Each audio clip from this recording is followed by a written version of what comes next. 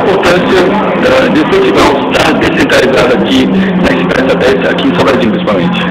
Acho que uma das grandes baratas é a compreensão de, de dessa Brasília que está na nossa cabeça, né? Que quando alguém mora em Sobradinho, mora em Taguatinga, mora em Ceilândia, está em outro lugar, e as pessoas perguntam, onde você mora? Só em Brasília, né?